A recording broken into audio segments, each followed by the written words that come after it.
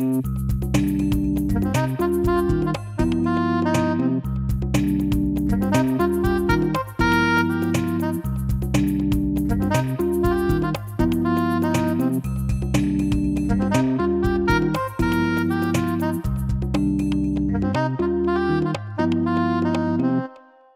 a time war. I'm taking a space in 2009 and trying to make it look like it did in 1940.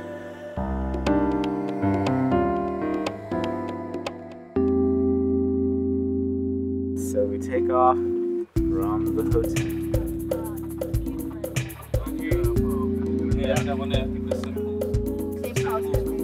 Take pictures.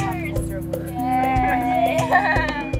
See, we don't have older women who ride bicycles to the morning.